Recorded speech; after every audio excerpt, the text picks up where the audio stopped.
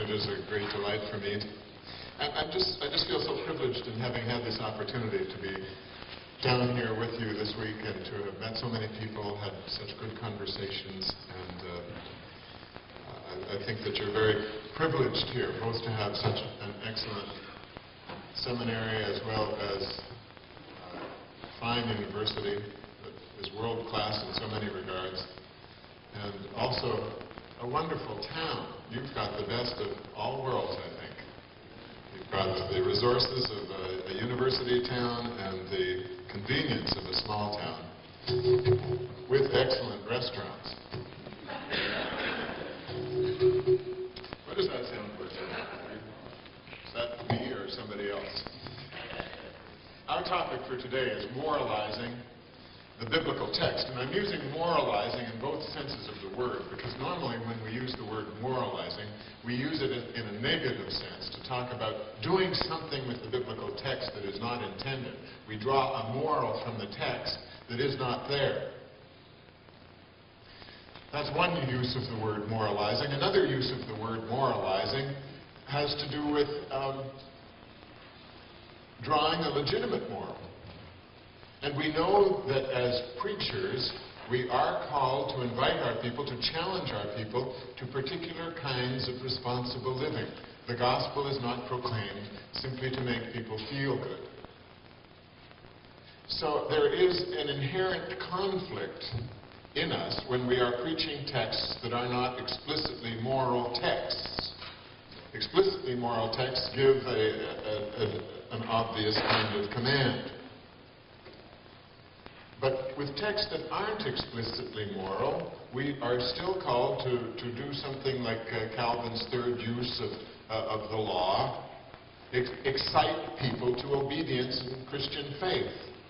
So there's this conflict between not wanting to turn a text into something that it isn't, and at the same time giving moral instruction uh, as to how people should live. We all know that when we preach, we, we want to try and indicate give people a practical example of what they might do in this coming week to change their lives.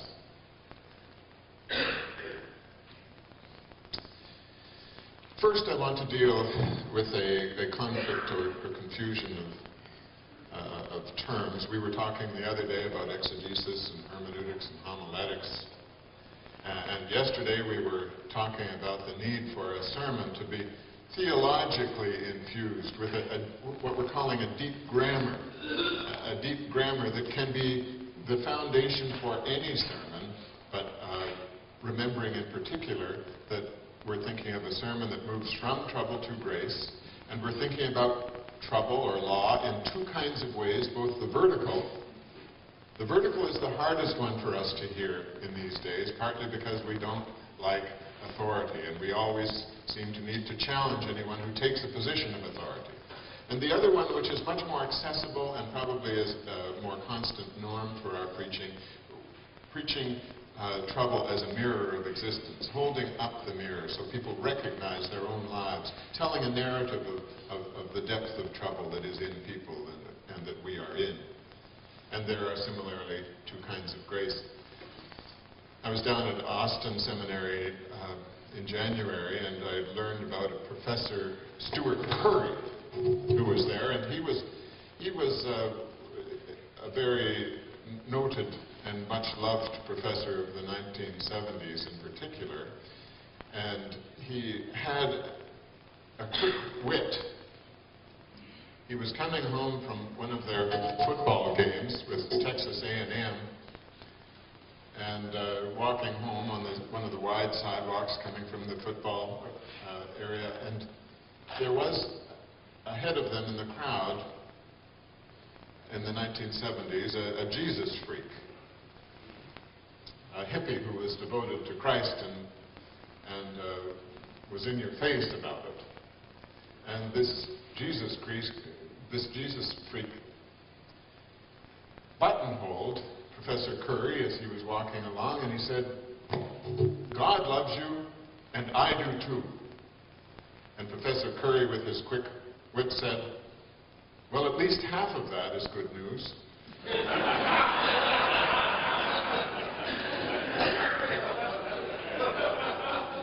I, I, think that should be the way with our sermons, too. At least half of it should be good news. Substantial, pointing to the ways in which God is empowering us to do that which we are called to do.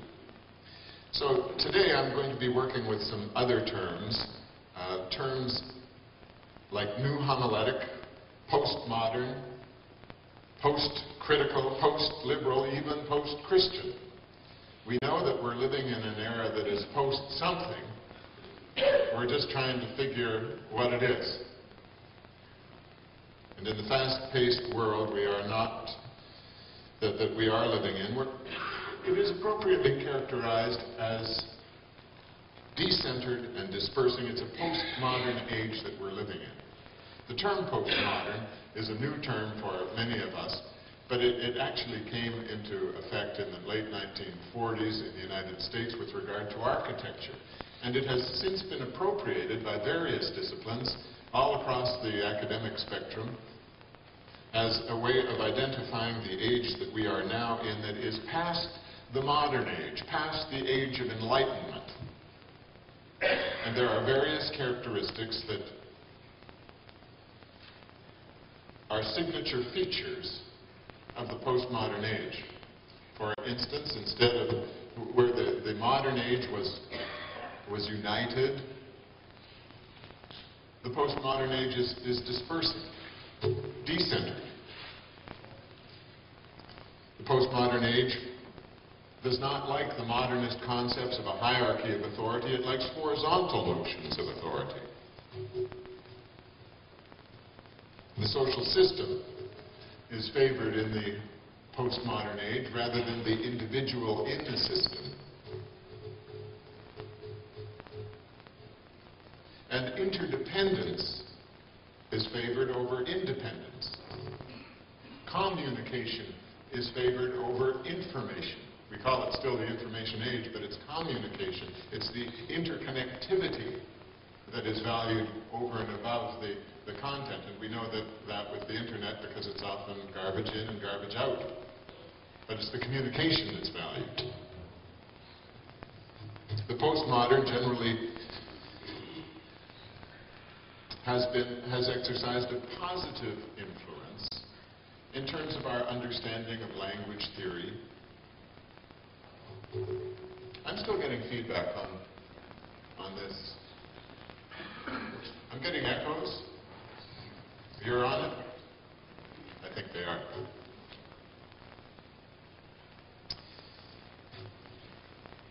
The postmodern generally stands not for anarchy, because that's how, sometimes how we think of it. We think, well, the postmodern offers us many different kinds of interpretation. In the modern age, we were happy to say that parables had one meaning, even though we knew it even then that scholars could never agree on what that one meaning was. Now we say that parables, biblical texts, have many meanings, and many authentic meanings, and, and indeed even within the Christian sphere, when we're regarding the Bible as scripture, texts have many meanings, there are many different takes we can take on it, and that's why we can hear sermons from many different people on the same text, and they're different sermons, and they may be all true.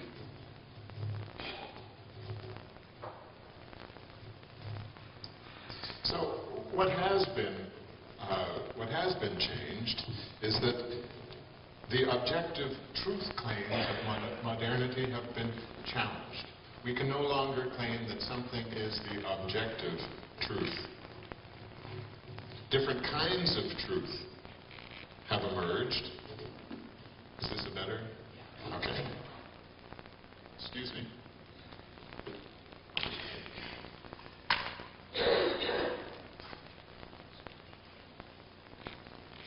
different, a different kind of truth has emerged.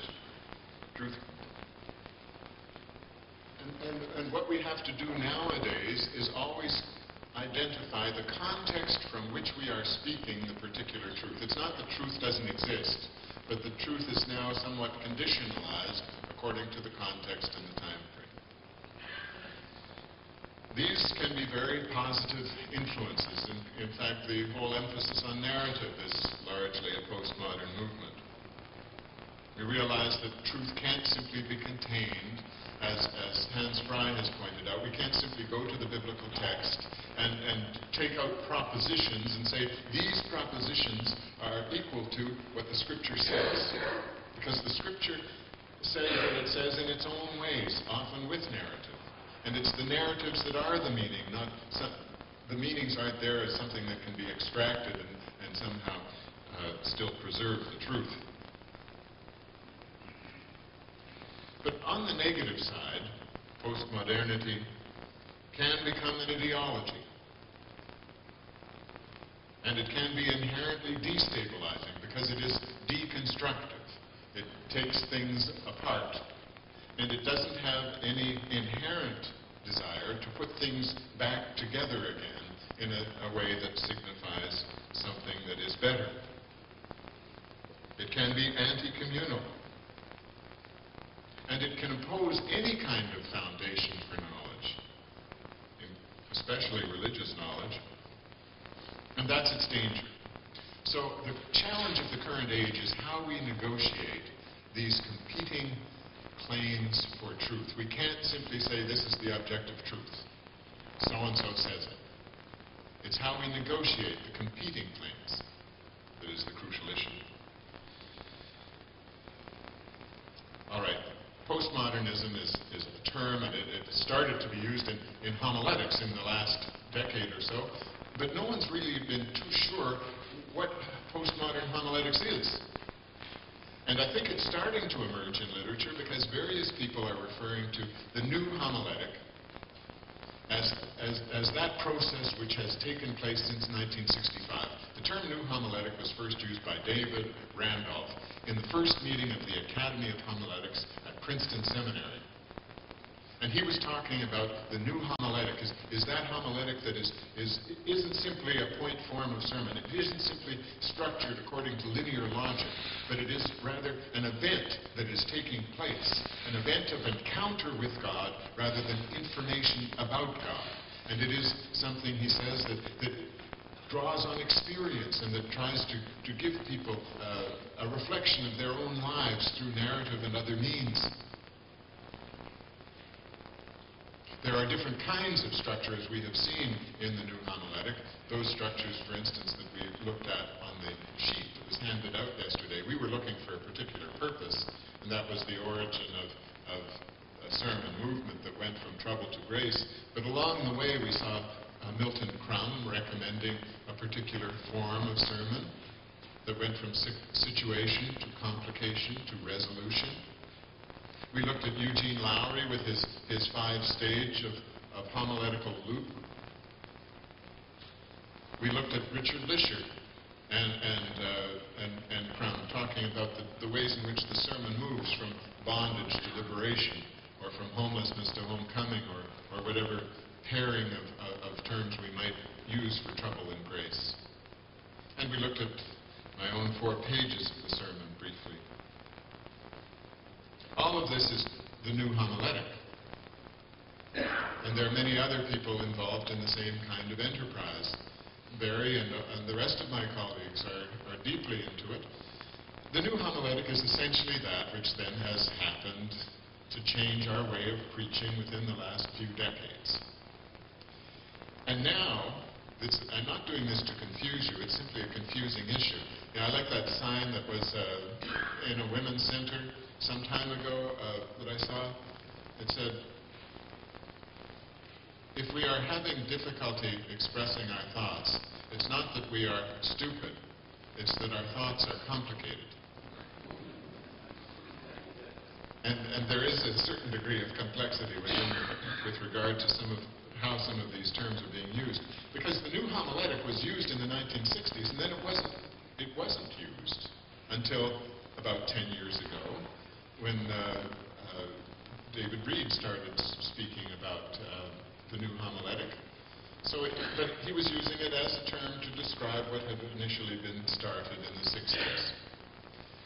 Well, similarly with postmodern. Postmodern has been used with regard to homiletics only within the last 10 years or so. And now it is being used in the same way that new homiletic is being used. In other words, they're synonyms. Postmodern homiletics is the homiletics that has taken place since the 1960s. I needed to make that clarification, laborious though it is, in order to be able to talk about a postmodern school in homiletics that is doing precisely the kind of ethics that I think is not appropriate for preaching today.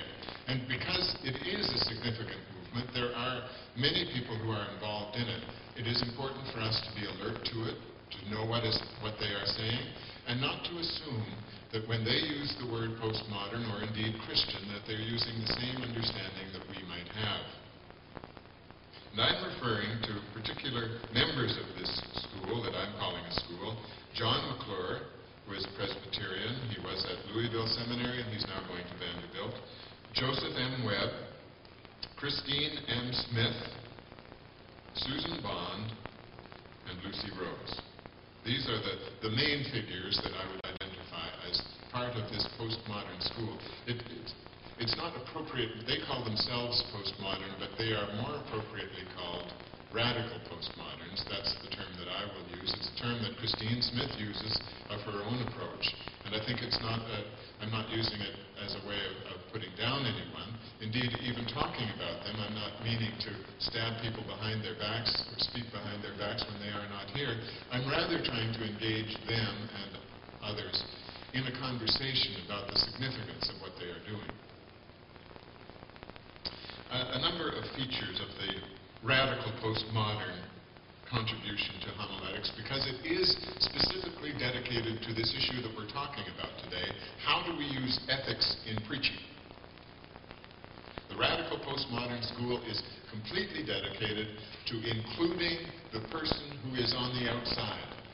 That is their primary ethical claim, and it's a good claim. Include the outsider. That's what Jesus did in his ministry. The radical postmodern school raises timely, important issues, but its solutions consistently raise more problems than they answer.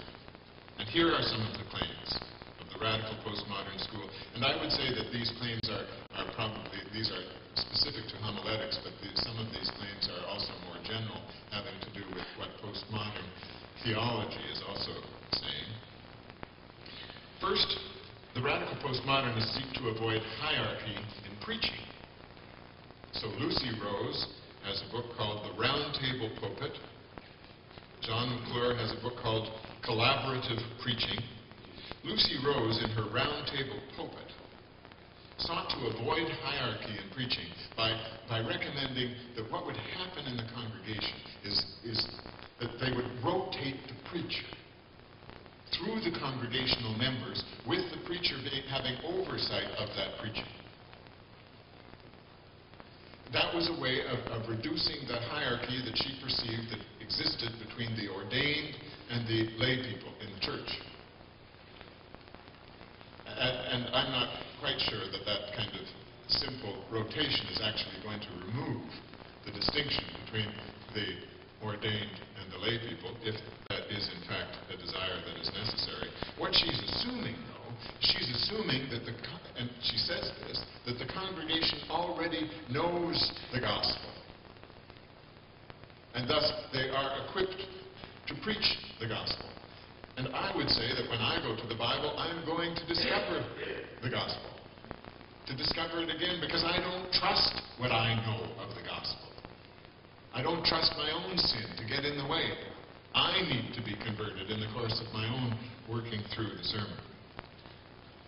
John McClure's collaborative preaching offers a, another related solution to, to uh, the problem that Rose puts. He recommends that preaching should be collaborative. That is, that the preacher should get together with members of the congregation, should determine a, a kind of a preaching group, and have this group meet regularly for three months, no longer than three months, because then it becomes kind of an, an in-group or a clique. Rotate the members of the group preacher meets with the members of the group, talks about the biblical text, and the sermon is that which arises out of the discussion that those people have had. And because they are representatives of the congregation, he feels it's going to be a much more egalitarian or radical postmodern kind of expression appropriate to our age. In fact, there is some evidence to support his approach. That is, uh, The first scholarly study that I know of what makes effective preaching has been done by um, Nieman and uh, Ted Rogers. Uh, forgotten the title of the book at the moment. Something to do with collaborative preaching. What they're suggesting, they, they did some research, particularly among congregations that have an ethnic, uh, a wide ethnic diversity. And they're recommending that in those kinds of congregations, it's very important for a pastor to meet with the representative groups all together and to have the input so that the preaching is speaking to the diverse cultural backgrounds and stories and histories that people are bringing. So there is some evidence that that can be a very authentic and important approach. However, this emphasis on uh, seeking to avoid the hierarchy in preaching is certainly one of the dominant emphases in the radical postmodernists. The, a second emphasis in the radical postmodernists is that they are radically for the marginalized, as I said before. Preaching undergoes is undergoing a deconstruction of its common authorities, namely the Bible, tradition, experience, and reason. Those are the four authorities that preaching traditionally is uh, drawing upon. And, and in the radical postmodern movement, there's a welcoming of the deconstruction of each of these. For John McClure, he, he, he views this as a, a process of the church being critically and ethically open and renewable. So there's a, a, in fact, what he identifies is two different motions that are happening, uh, happening within the church in relationship to, to the Bible. There is an identification. We've always known this in the modern age, that there is an identity that is formed by Scripture, that we read Scripture and, and we hear it proclaimed, and our identity, a certain identity is given to us, the identity of Jesus Christ. Um, and we find our own individual calling in relationship to that identity. And then, in addition to this centrifugal uh, identity, there is in the postmodern age a centripetal identity. Uh, that, in, in, other words, we're, we're on this circle and, and we're being, he's saying, also casts us out from our individual identities so that we have to explore new identity, new challenges. And I think it, it's an appropriate kind of metaphor to think that, that yes, we are drawn in, but we are also drawn out, having to search uh, a new way of understanding. We, in other words, we always have to be calling into question in this postmodern age our most valued and treasured assumptions to see whether we have substituted a cultural value for the value of the gospel his understanding is at least a half adequate view of Scripture. Since his approach deals fundamentally with loving our neighbor, but he leaves almost entirely loving God out of the equation. He nonetheless makes an important ethical claim. The church, he says, has not allowed the voices of many people to be heard that need to be heard the disenfranchised, women, the poor, people with differing abilities, gays and lesbians. He says that we must be wise to the other. And so he calls his, his book on preaching Otherwise Preaching. It's radically dedicated marginalized. And that is the uh, primary thrust of the radical postmodernists. A third feature of the radical postmodernists is that they deny transcendence. For them, they don't like the word truth because it seems to indicate objective truth that the modernists held. And they would rather have other words instead of truth. Words like wager, I would wager, working hypothesis, practice, testimonial affirmation.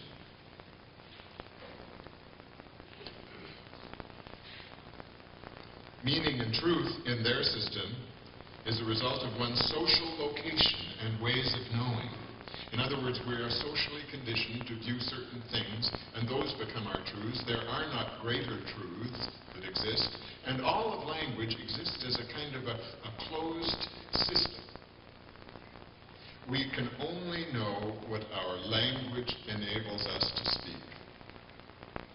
We cannot know that which our language doesn't reach. We think with our ideas. Our ideas are words. Beyond the words, we have nothing. So they're saying that all of everything that we know is confined to the language system. And what that means is that there is no transcendence.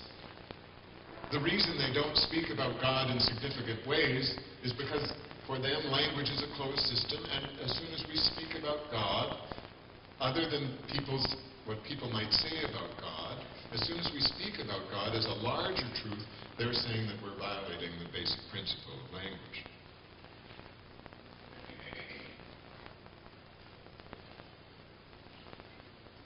Were preachers to move in that direction, we would never be able to dispense what Gerhard Forde and Richard Jensen speak of as proclamation. Proclamation is first and second person direct, declarative speech of God in the sermon. You are forgiven. I love you. You need to change. That kind of direct declarative statement would never be allowed because it is coming from elsewhere. A fourth feature of the radical postmodernists is that they represent a theology from below, generally to the exclusion of a theology from above. Christine M. Smith holds a particularly negative worldview in her book, Preaching as Weeping, Confession, and Resistance Radical responses to radical evil. I know it doesn't sound like a very peppy title, but it's also representing a very negative worldview. She says that the radical evil is the per pervasive world reality, and it dominates, she says, our everyday life. Radical evil is the pervasive world reality, and it dominates everyday life. Her risking the terror Resurrection in This Life is the title of her most recent book. And it is deep in compassion for those who are excluded, but it's also an extension of this negative perspective. From my, from my own understanding, as preachers, we are called to have a positive worldview. No matter how bad things are, we are a people of hope. And we proclaim the hope loudly, boldly. And no matter how bad things are, we would still want to say that God's blessing on creation at the beginning as good still remains.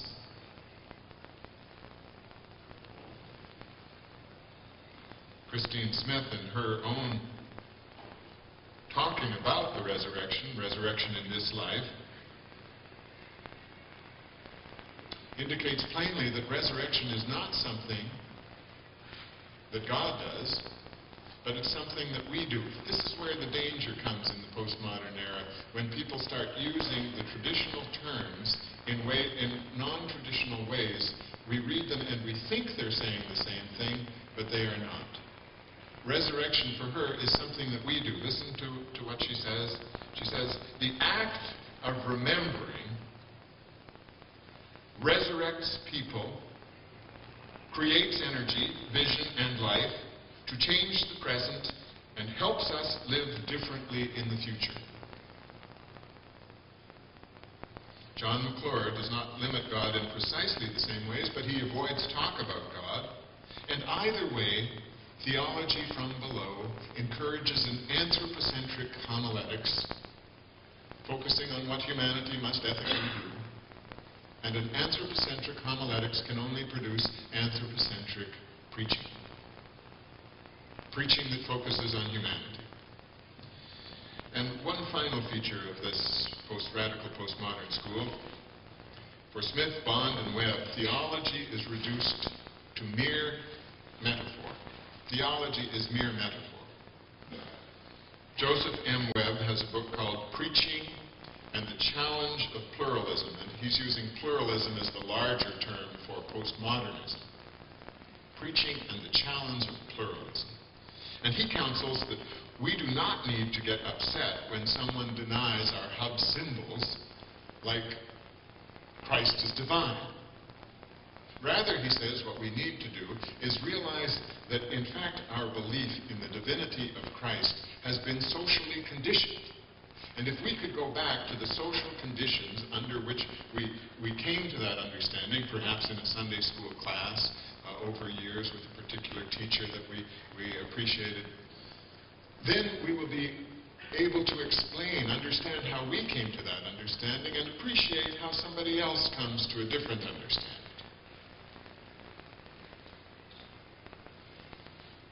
In other words, we believe what we believe because we are conditioned to believe it.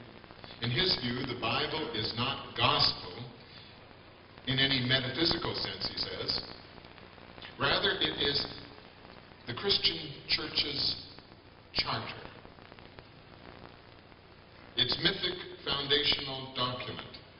He says it is not historically true, nor was it ever designed to be in its various bits and pieces. Webb would reduce the authority of Scripture to our own need for it to be true. We need it to be true because that's what we believe, and that's the authority of it. It's a circular kind of notion. But it's what you're reduced to if your language system is a closed system that doesn't allow transcendence, doesn't allow a higher truth above our language. God is not limited by our language. God can speak to us in, in ways other than our words. God can work miracles in ways that we haven't dreamt. Susan Bond has similarly reduced theology to metaphor in her book Trouble with Jesus Women, Christology, and Preaching.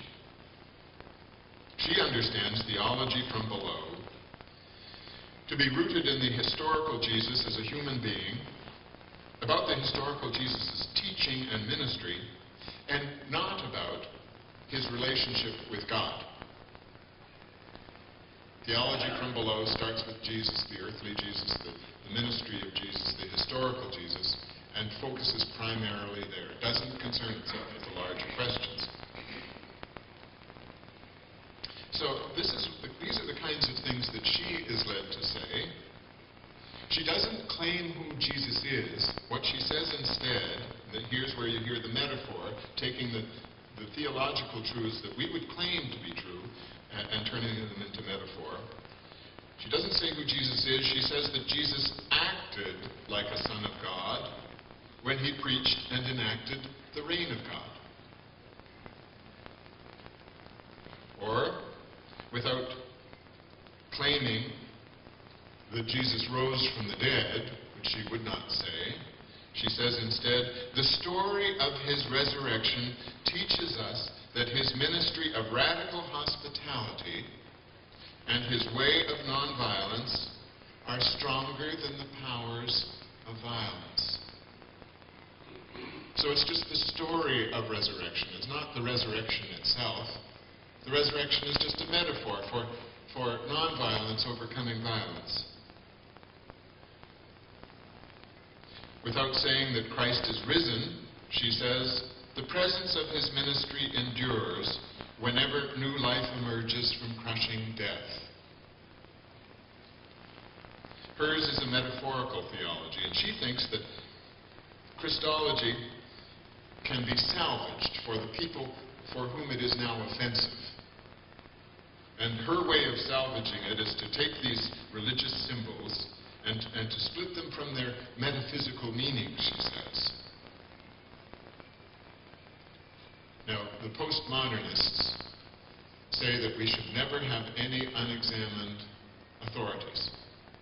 And yet, both Susan Bond and indeed all of the people in the radical postmodern movement are unwilling to critique their own assumptions.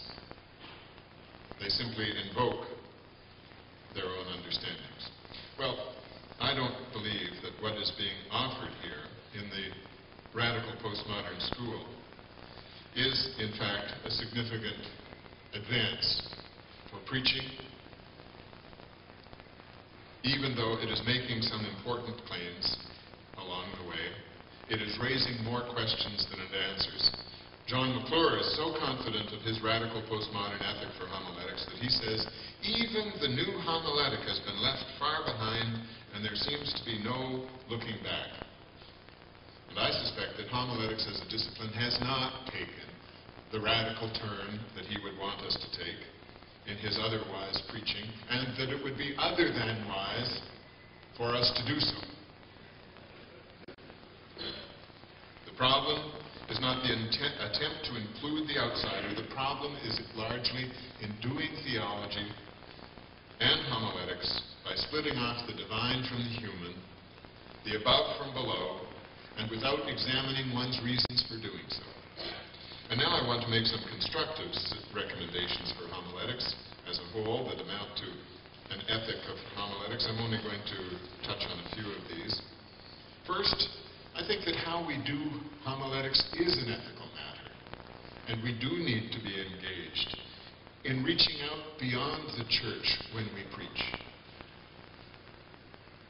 Oftentimes, when students pick up a, a text from the epistles and Paul's writing about the church, then, then uh, our students, or indeed ourselves, we're, we're tempted to, to write a sermon about the church today.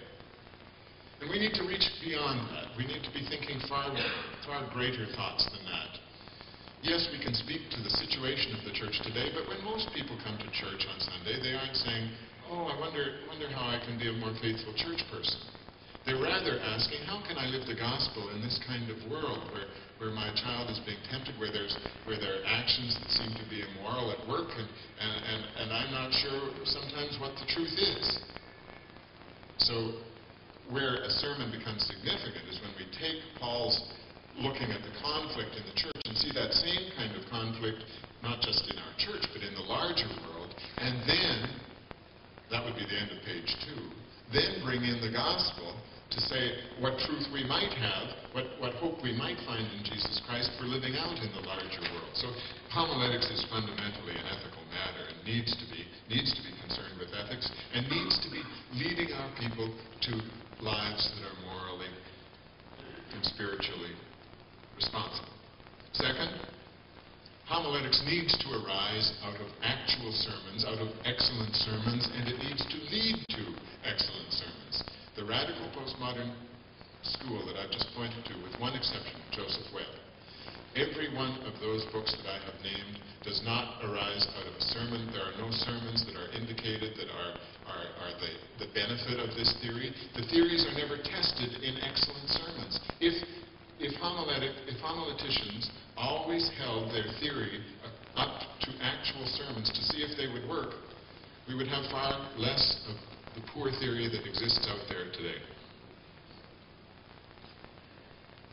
Thirdly, homiletics is realistic in its interpretation of the church. Lenora Tubbs Tisdale recommended that theology in a sermon be seriously imaginable within a local context. And I think that's a nice phrase. When, when we preach in, in our, the theology of our sermons needs to be seriously imaginable. Can't be something fantastic, wild, that we've drawn out of nowhere. It has to be applicable to this particular situation. And I think that the same kind of, of claim is necessary for preaching, for homiletics as well. It has to be seriously imaginable.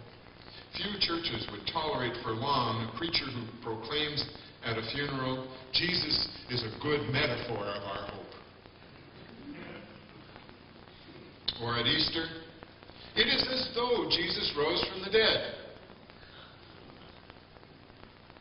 as both Bond and Webb seem to encourage.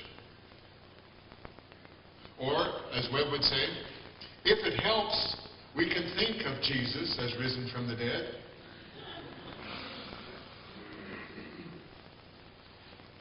Moreover, few churches would tolerate for long a, preacher who is so other-focused, so focused on those people who aren't here, that there's no good news for the people who are.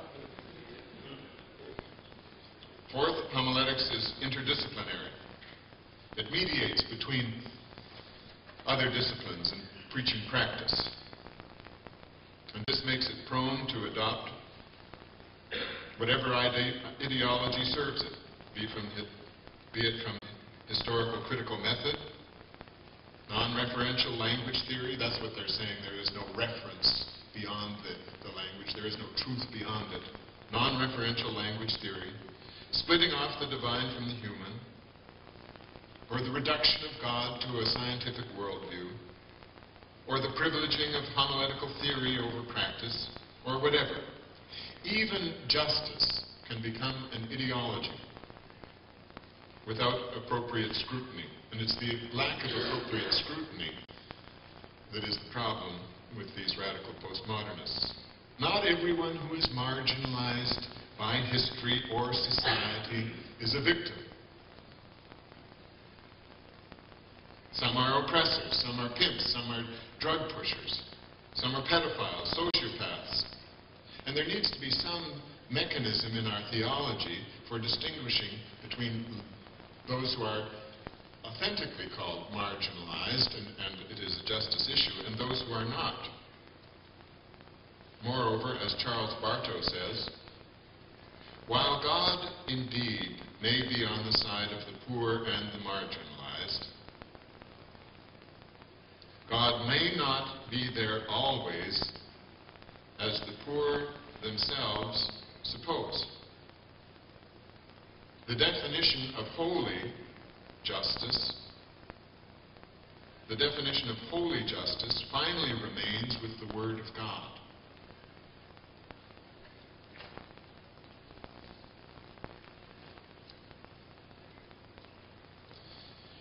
Well, because homiletics serves preaching, homiletics is conservative in relationship to tradition, and I would say it's radical in relationship to the gospel. The gospel is radical. And that's where the radicality of homiletics should come from. Not from some kind of wild discernment of a new theory and adoption of it because it may have some potential.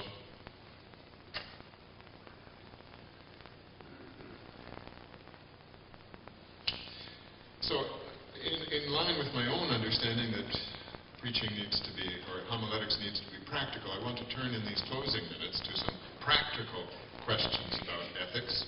I think that the approach of the radical postmodernists is uh, one ethical approach, but it is not the one to be taken. And here I consider first how grace and ethics seem to be in conflict. You know, when we look back on the history of preaching, even with great social justice proclaimers like John Wesley, can scour their sermons and there's almost no reference to social justice in their preaching. It's almost as though it's almost as though the people were so um, aware of the social justice acts that were being done in the name of the church that they didn't have to speak about them in, in the sermon. Or it's almost as though grace and ethical commitment are at odds. If, if, if, you introduce too much discussion of social justice, then there's no room for the grace of God to be proclaimed. Moreover, in many of our sermons, if, if we were to preach an ethical sermon on a social justice issue, many of us would find that, well, there's a greater subtlety to the argument than we have time to research for this Sunday, or than our congregation is willing to listen to congregation might want a simple answer. Should we do this or should we not? But the ethical issue demands shades of understanding. So there are lots of reasons why we might not uh, uh, focus on ethical matters as much as we ought to. But we don't have to be looking for those occasions when we preach a social justice sermon. Social justice can be part of every sermon that we preach. And by social justice, I simply mean concern for those who are beyond the church. That righteous, God's righteousness be done. My first suggestion is that the ethical direction for the sermon normally will arise from the biblical text itself.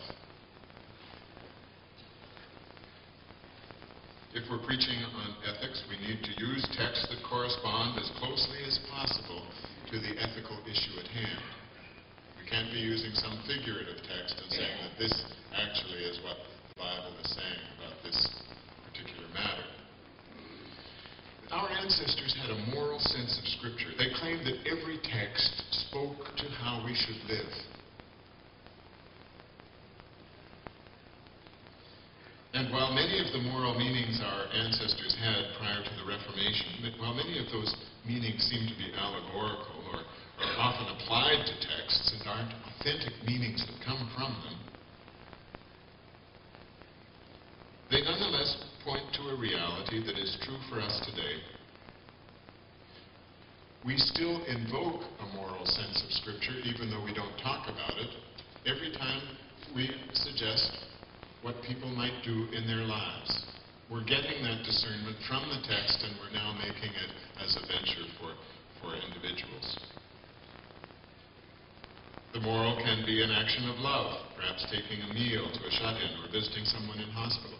Even telling a story about someone visiting the hospital can be a ministry to the social justice issue, can be meeting an ethical responsibility in preaching even though that may not be the point of the story. The moral sense often requires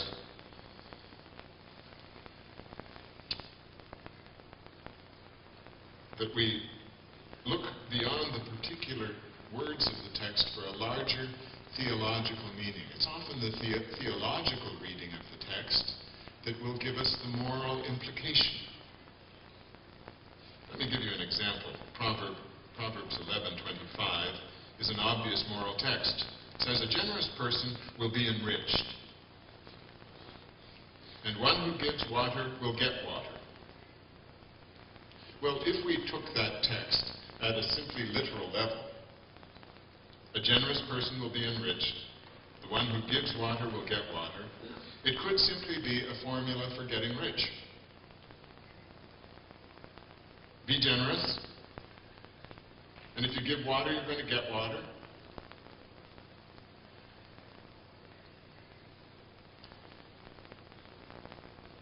But that isn't the moral implication of the text.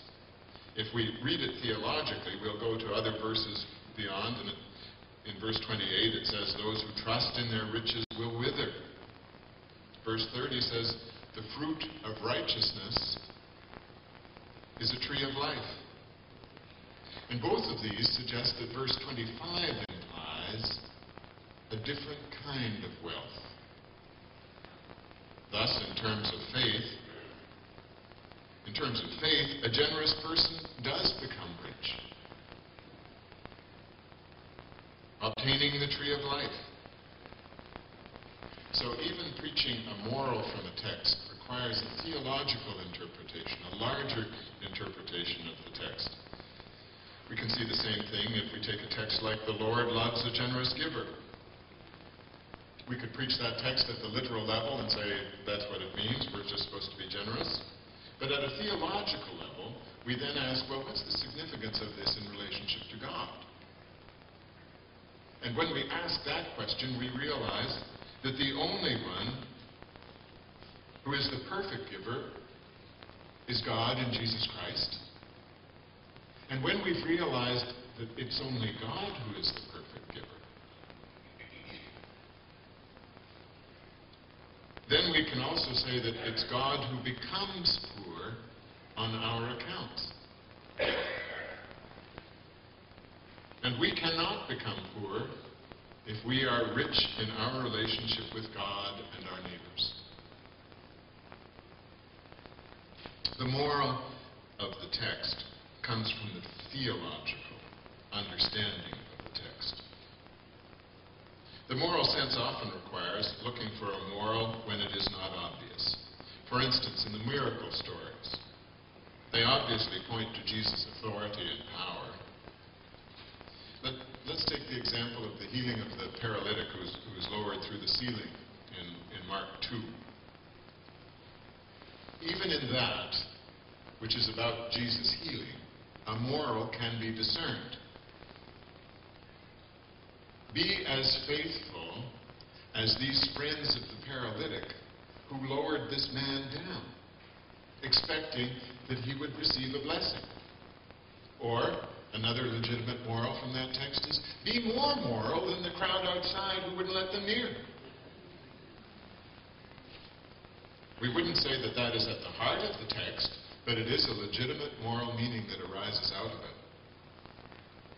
Another way to consider ethics in texts concerns the fact that individuals in the Bible, like in our stories, invariably represent certain values. We hear a story and we attach moral values to the people. It's the same way in the Bible. Further, the church understands from the earliest times that biblical texts have a plurality of meanings and are meant to have a plurality of meanings.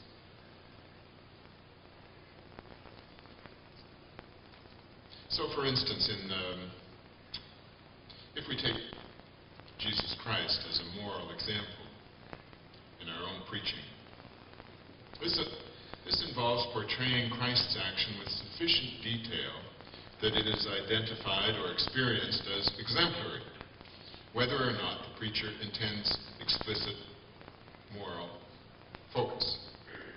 Now, sometimes the moral is to the side of the text. For instance, when Jesus responds to the lepers who call out in Luke 17, they call out for healing. Few people would claim that Jesus is kind is the thrust of the text. He stops and he heals. But it's not Jesus' kindness that is the main focus of the text, we would say in faith. It's his authority. He has the authority to heal whom he will heal.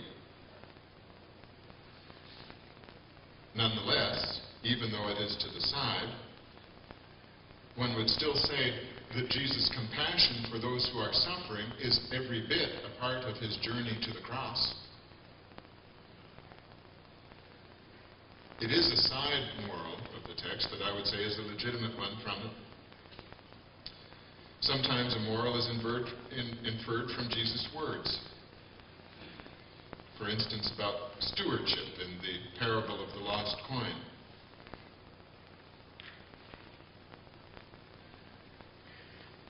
There are obvious dangers in drawing a moral from Christ's example Without historical criticism, we are unable to distinguish between a legitimate ethic implied in Christ's behavior and one that we import to Scripture from our own setting and culture.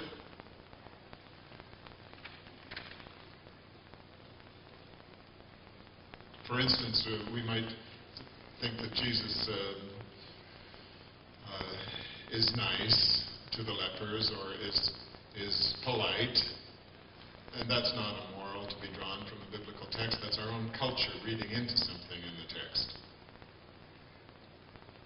But if we find a moral in Christ's every action, on what base do, basis do we deny a moral in awkward texts?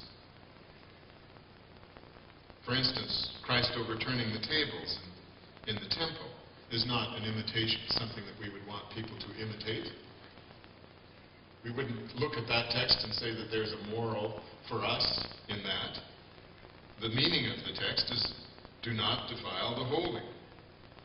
When he condemns the fig tree out of season, we don't want people, farmers, to go swearing at their fields. That's not the moral. He is the one who has authority even over what will grow.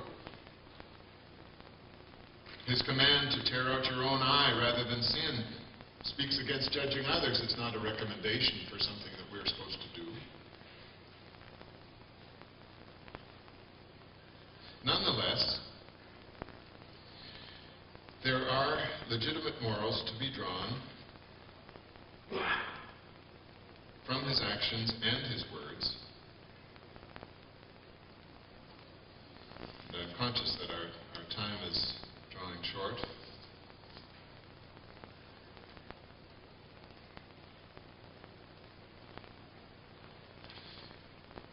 He delays two days in responding to Lazarus' illness. And what he's saying through that, a, a legitimate moral, is that our agenda is not God's agenda.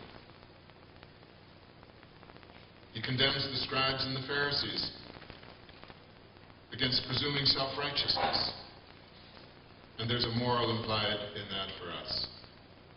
He commends the dishonest steward and speaks about the need for Christ's followers to be shrewd.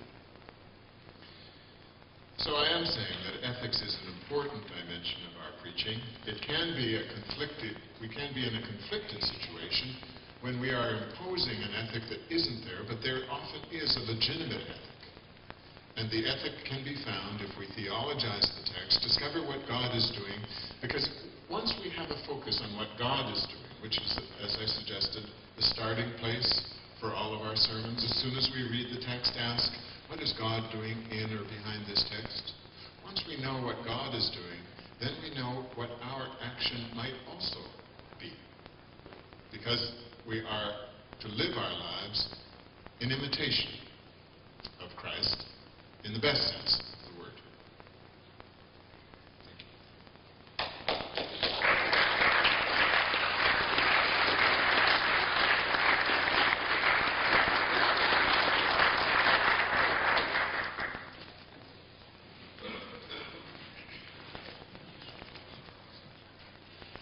I want to say on behalf of all of us how much we have been challenged. Please don't run too far.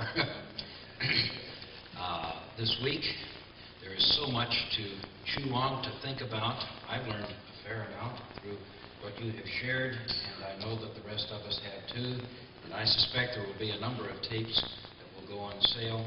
And just double the price, and Barry, you and I can work on the profits later. I think that will be very useful uh, to us. But uh, uh, again, we are grateful that we had uh, uh, such an erudite uh, and informative collection of lectures on not only preaching thought. It was, I appreciated that we went beyond just the, the actual putting together of a sermon. And we talked about what was implied within it. And so we are so grateful for that. And uh, again, I'm going to have to go back and change some sermons of mine as a result, which I, I hesitate to do because they worked so well before. Anyway, I appreciated so much uh, the call for integrity in Christian preaching also that came through loud and clear. Uh, Paul, uh, we wanted to give you just a little token of appreciation. uh, Dr. Morrison has a much larger token he will give you later of our appreciation. This is, uh, first of all, uh, when you get back into the Ontario area, a little tie of Acadia University to remember your time with us. It doesn't say Acadia loud and clear, so you might get by wearing it somewhere in the Toronto area. And just a mug uh, for coffee or tea or whatever you choose to put in it. It says Acadia Divinity College that expresses our deep appreciation for you taking the time to come here and to share with us. So uh, I think I can say on behalf of all of us, thank you so much. God bless you.